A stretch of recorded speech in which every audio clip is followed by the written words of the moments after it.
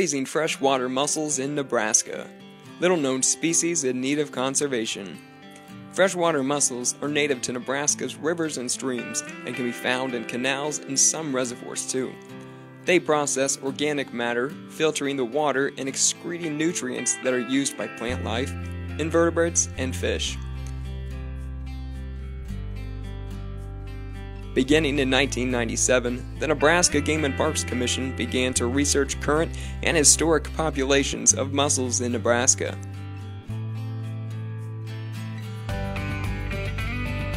This research helped identify several species with declining numbers that were candidates for recovery efforts. In 2014, efforts began to raise the vulnerable plain pocketbook species of mussels in the North Platte Fish Hatchery. To do this, fisheries staff developed a new process. The shell of a fertilized female mussel was pried open and stoppered to allow access to the gills. Glochidia, mussel larvae, were flushed out of the female using a syringe. The flushed Glochidia was collected in beakers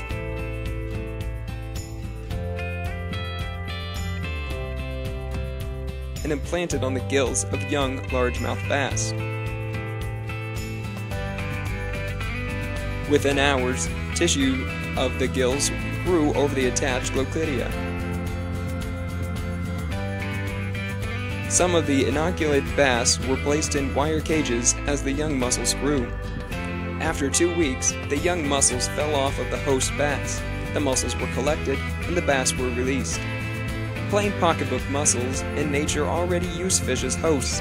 This is a female actively displaying her lure to attract a fish host to her Glochidia.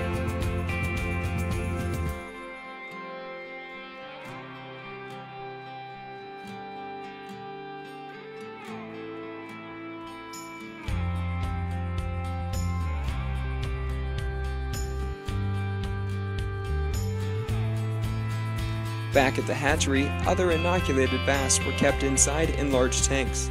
This made it easy for staff to collect the juvenile mussels as they dropped off the host. Half of the juvenile mussels were transferred to a beaker system to be raised. As they matured, fishery staff were able to control their feeding and temperature. Next, the mussels were counted and tagged. Thanks to their size, it was a delicate process. For scale, these are young mussels in a petri dish next to a dime. After being counted and measured, tags were carefully placed so the mussels could be tracked once released. Glue and dental cement were used to safely attach the tags.